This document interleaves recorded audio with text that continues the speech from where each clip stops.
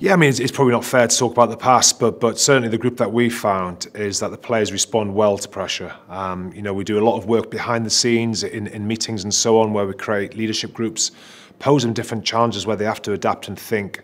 in a kind of classroom environment, if you like, and then we try and expose them under duress, under fatigue, uh, under match situations during the week. And then, of course, the real test comes on a Saturday in what is obviously a test match.